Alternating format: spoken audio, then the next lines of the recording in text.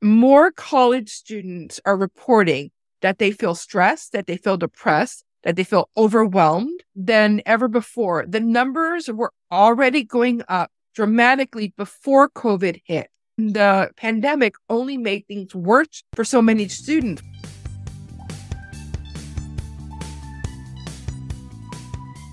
Hi, everybody, and welcome to How to College, the podcast where we get together to have real conversations about what it's like to be a first gen college student and what that means before, during, and after college. If you're a new listener, our goal here is to democratize some knowledge that we've gained along the way, to learn from others, and to share what we learned to hopefully make your first gen college experience much better. My name is Sandra Fernandez, and I'm one of the podcast co hosts, and I'm a first generation college student too. Today, we're going to be discussing self care, the importance of taking care of yourself as you go through your college years, and maybe even as the parent of a first gen college student, on some tips and tricks that you need to know, what you need to look for, and why it's so important. My guest today is Sandra Martinez, who is a certified neurolinguistic programming coach. And I'm going to let her tell you a little bit more about what that means and all that she can bring to this topic. But first, join me in welcoming Sandra. Hello, Sandra. Thank you for joining us today.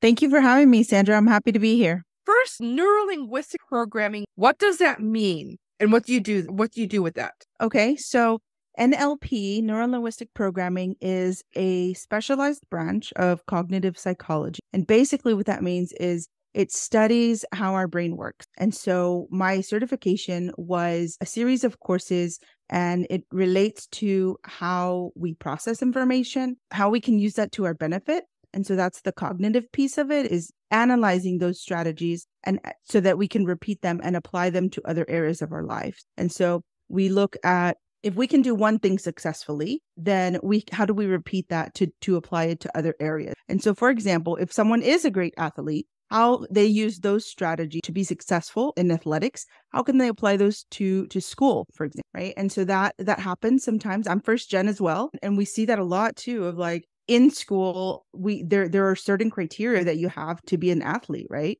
And so there's extracurriculars and how do you apply that to your study because a lot of times it's not as fun right? Yeah i can absolutely imagine. And honestly i'm not i'm not the athletic type at all. If you had said how you can apply being a computer geek i might have understood a little bit more. Before we dive into today's topic i want to learn a little bit more about you in your journey as a first gen college student. Where did you go to high school? Where did you go to college? And what was your experience like? Okay. So I am born and raised in Houston, Texas, and I grew up in north side of Houston.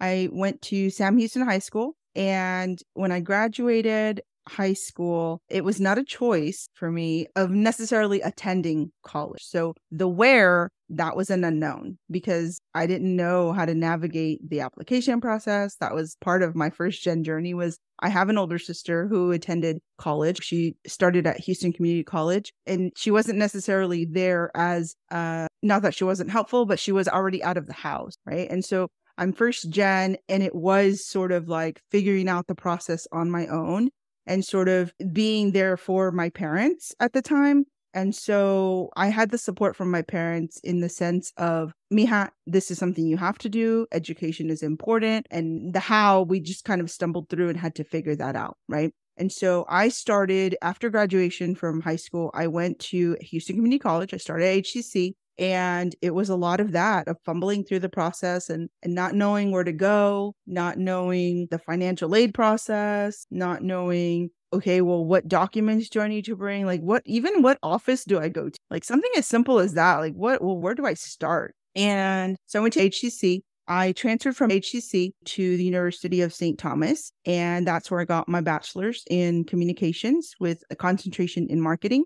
And that's where I think really I had the knowledge already from navigating the HCC process. I was able to do that. And then in at St. Thomas is where I really got into the education avenue. So I did my internship at a small PR firm. And at the time, the owner, she did the PR for the Houston Hispanic Forum. And they did the Career and Education Day every single year. She was dear friends with the founder of the organization.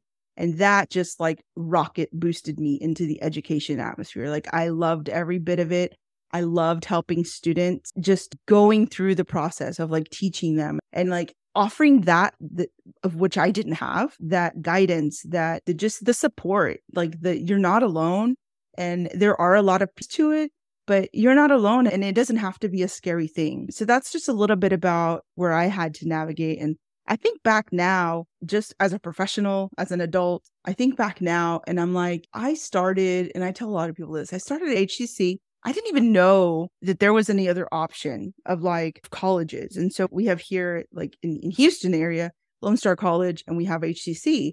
Like in my mind, I was like, oh, well, I have to go to HCC because that's where I'm zoned to. Like just because of the high school mentality of like, well, this is the school you're zoned to, that it just it wasn't in my realm of awareness. And like I think back to that now and I'm like, I can mensa. But it wasn't something that I knew. And that's okay. It's okay to not know. But your school, they didn't give you any counseling Nobody gave you any advising. They didn't give you any direction. I had think back and I had really great teachers and I had really great counselors, but I wasn't, I don't know that the level of engagement was the same as it is nowadays. Like now, everywhere I look, there's a career college, there's a counselor's center, there's a, there's resources and tools. It's like, it's so, so much more prevalent and just in your face. And at the time, it just, it wasn't. I mean, maybe it was me. I wasn't like a rock star, a top of my class either.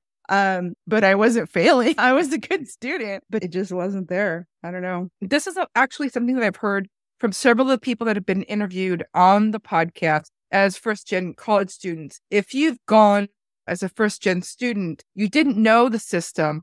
And for many of us, we didn't really get a lot of pre college advising to help us through. We had to muddle through it. And then we took our siblings by the hand or trying to help the next generation coming up into the system. So it's interesting that I'm hearing this over and over because it's a common trend. It's a common topic for us that we all went through it. It is interesting. And I think it it fuels that that passion and the, like the motivation is there to to pass mm-hmm. that knowledge along because why have people struggle it's because i didn't know something i'm not gonna like okay well i'm past that that stage in my life like that's not how we grow as a society as a culture and so passing along that knowledge is really important to me being a college student is hard and not just being a first gen college student but being a college student period is hard I worked my way through college. I understand. I'm not so far removed that I don't remember what it was like. It was hard to be a college student. But for today's episode, I did some research because I'm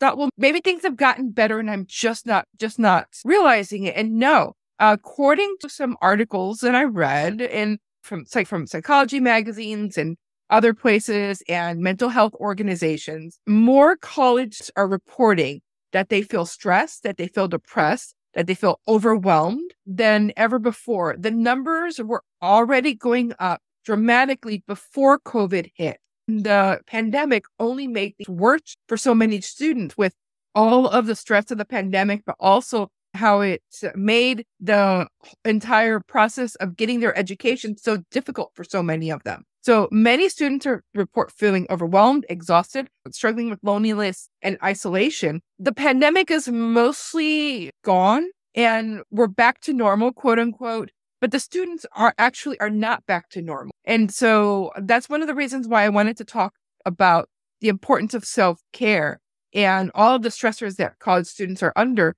because it is an important topic. It's something that we often overlook. It is, and it's it is really important. And I don't think many people realize how many the years that have gone by, right?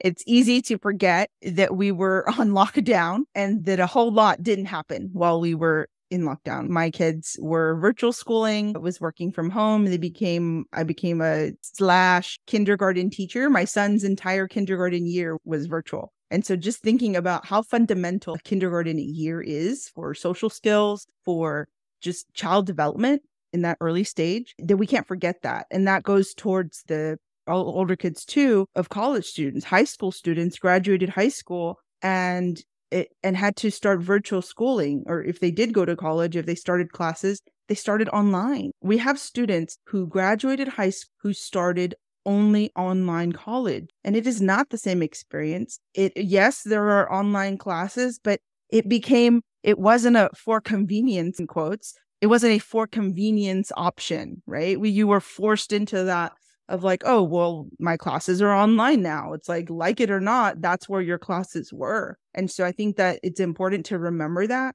and remember that there is that getting out of that transition. We have to transition out of that.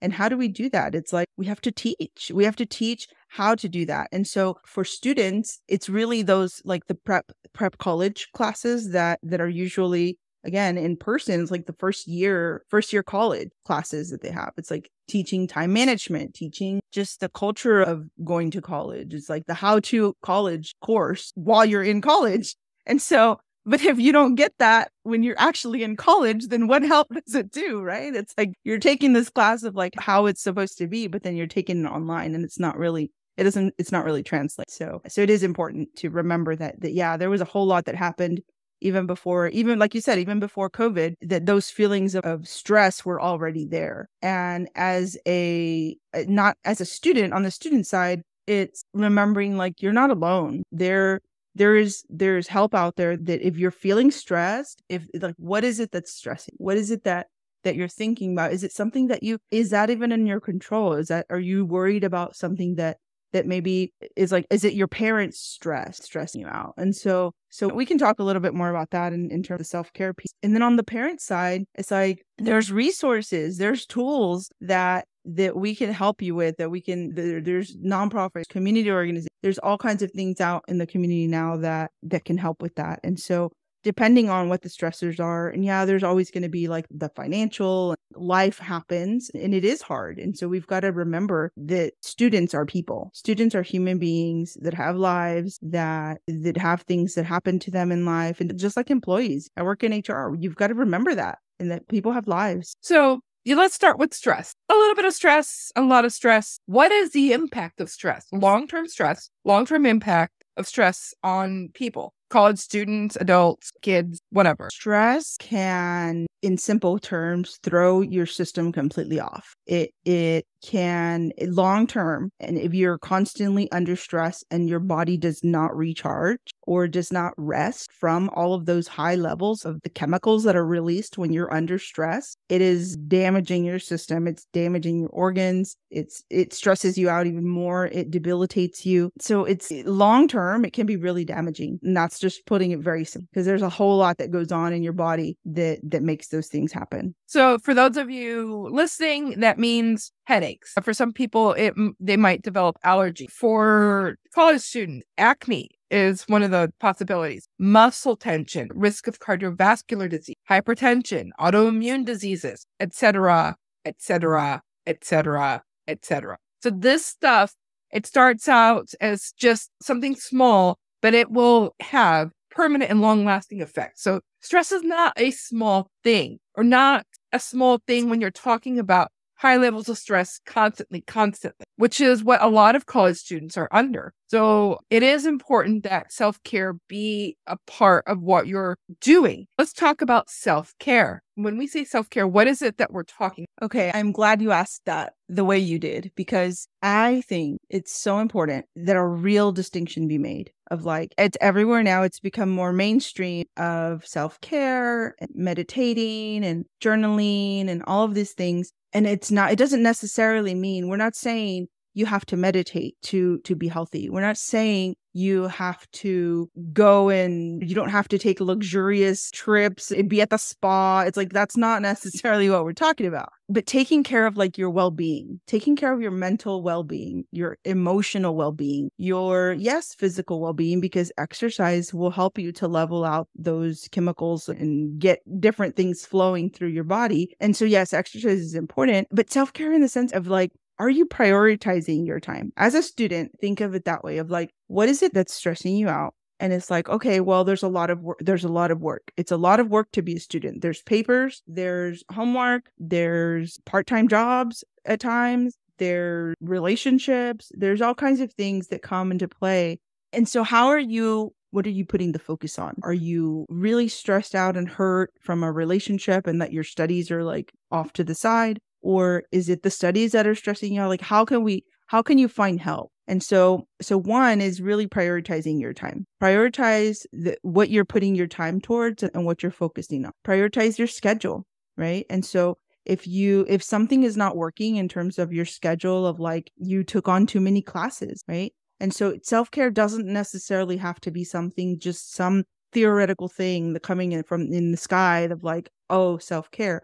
But think of it in a very practical way of like, how can I reduce some of these stressors? And yes, meditating and journaling will help, and all of those things that that you see now more you see them on the social feed social media feeds and all of that but it's not just inspirational. It's not just inspirational fluff. It's really taking care of your mental health emotional health. One of the ways for in terms of emotional self-care is it sounds simple. It really does. So don't laugh. But it's just feeling it's like feel your feelings and and some people don't do that some people don't do that enough and so, so if there's something that that is making you sad, is there something that that makes you angry? Yes, we all get angry, we all get frustrated. But how you handle that, and it's like if you're just stuffing your feelings, that that is not self care. I mean, we can talk about what is self care, but stuffing your feelings is not self care. And so, so all of those things, if you think about it, of like just this, like a, a combination of all of these, then you get a whole a better view of like, okay, well, if I take care, if I'm feeling my feelings, I take care of my emotional well being, I exercise, I take care of this, I'm prioritizing my time. You don't have to do them all at once. It's not like it, don't let self care stress you out either. It's not, that's not going to help you either. But I have to be perfect at it. Right, right. But I have to do I have to be the best. I have to do the best self care. It's like, oh gosh, that's even more stress. So some of the stuff I've heard you say right now, it's tips on how to do self care is on how to Practice self care is set a routine and keep it. Prioritize your time or time management. Exercise is what I'm hearing you say.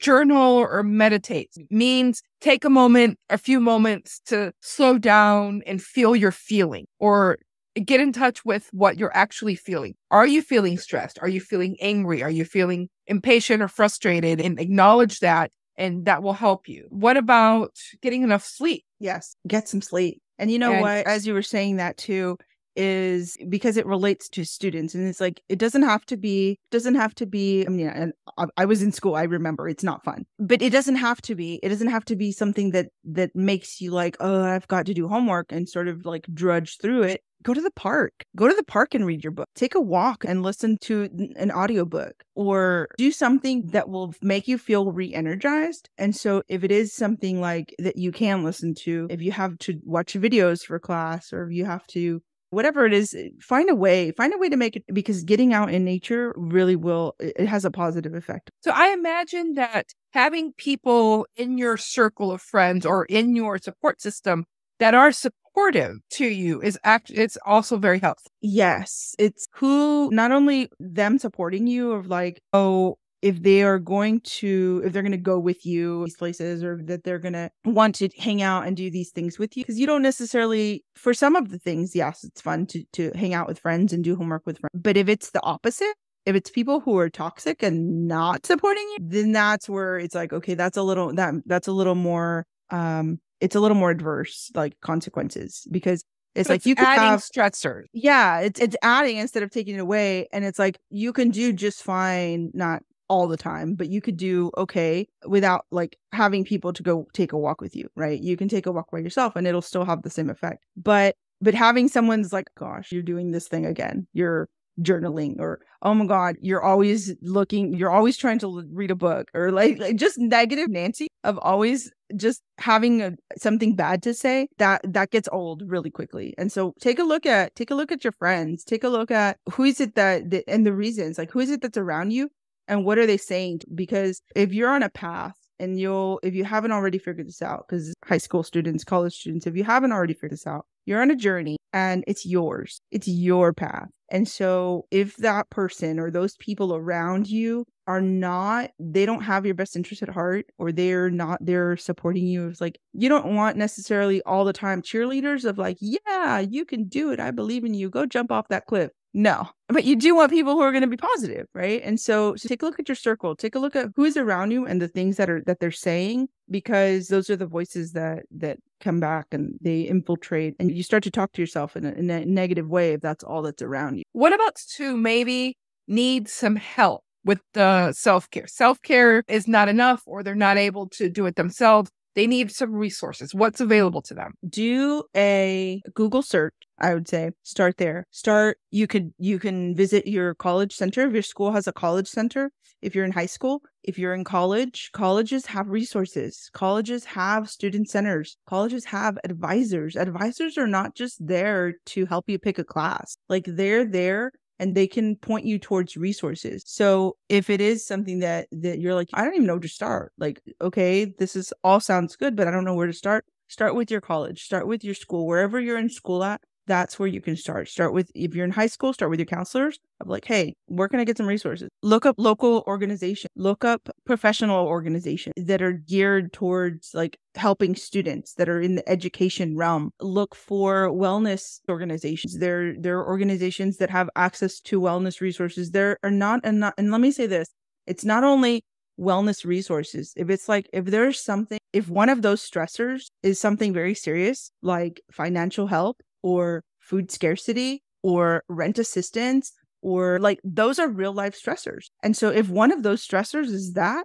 there are resources out there for that too. And so so that's what I mean by like taking a look at the stressors and like finding ways that that it's like okay, well how could I minimize this, right? And it's not that you have to do it or you have to go out and get another job. It's like there's resources out there, there's organizations that can help. And just start with that. I would say start with your school and if you're in college, start with your student center with your advisors. Go to, there's even student centers that are like, there's a women's center. I know like Lone Star, we have a, a women's center. There are resources there for for mothers for women who are breastfeeding for just there's so much there's the career closets there's there there's a food pantry there's all kinds of things that there there's stuff out there what so let's shift a little bit to parent right now I mean, we talked about all the self care tips for the students. What would you say for parents? What would be different for the parent? From the parent perspective, I think there's an understanding that that, that kind of needs to take place. It's like to the parents, anybody parents listening, it's okay to not know. It's like there's almost like permission, if that's the only word that can come to mind right now. It's like it's like it's okay. It's okay to not have all the answers. It's okay to want better for your kids, but not necessarily know how. Like my parents did not go to high school. My my dad had like a grade school education. My mom finished up to like middle school. And so it's okay as a parent to to not know is like to know like I want my kids to do better than me. I want better for my kids. I want my kids to go to college. But man, I don't know how. That's okay. That's okay. You don't have to have all the answers, but love your kids. It's like that goes such a long way. Just be there. Just support them. And that not adding that stress, not adding the stress of like, well, I don't know how you're going to go or I don't know how like no, we can't pay for it or I don't know. So I don't know how you're going to go to college. Like you need to get another job or to get two, three jobs. And it's like there's there are other ways. There that is straight up like just message to the parents. There are other ways. There are other ways for students these days to and obviously I guess now in hindsight there were other ways back then too.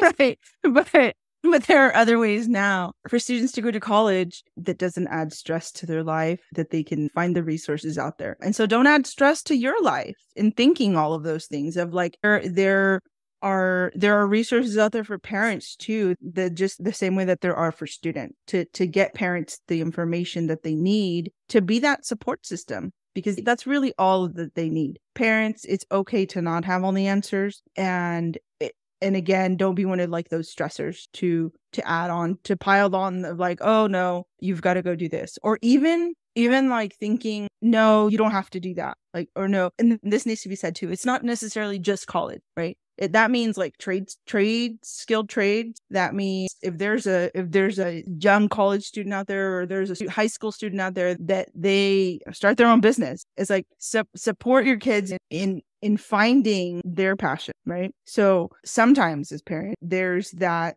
oh, but you've got to go do this, or oh, you need to be this. And eh, yes, we know Like I'm split here because I'm a parent and a, and a kid. But yes, we know you love us. And but parents sometimes ha- just have to take that step back. So if you could do one or two big tips for kid for the first gen college students to walk away with, what would you say? For students, yes, find what you love. That's really important. And and if it doesn't work out, it's okay too. Try again. It's okay to to and even in the self-care realm, it's like, oh, I'm going to start doing this. I yeah, I'm oh, I'm going to start journaling. And then like you do it a day or two and fall off and it's like, oh, I sucked at that. That's not my thing okay, I'm done. Like, you're not done with self care. No, you're not done taking care of yourself. You're not done taking care of your health and your well being and your emotional well being. It's like, try again. It's okay to fail. It, it's not going to be like all of a sudden I'm this great author that I'm going to just write daily and nonstop. But it's the intention. It's the intention that's there. And so if you really want to be better and get better, it's like, keep trying. It's like we all fail at something. So keep trying. Well, thank you so very much for joining us today, Sandra. We hope to have you on the show again sometime in the future. For everyone, make sure and subscribe to the podcast if you haven't already, and have a great week. Thank you, Sandra.